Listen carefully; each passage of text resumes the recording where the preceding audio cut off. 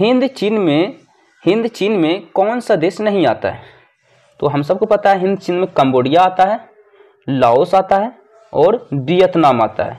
यानी कि चीन जो है, इसका राइट आंसर हो जाएगा, चीन जो है, हिंद चीन के देश, हिंद चीन के अंतर्गत नहीं आता है देश, ठीक है? तो चीन इसका राइट आंसर हो जाएगा, चीन जो है, हिंद चीन के अंतर्गत नहीं आता है, ठीक है? हिंद चीन के अंतर्गत ये तीनों देश आता है, ठीक है?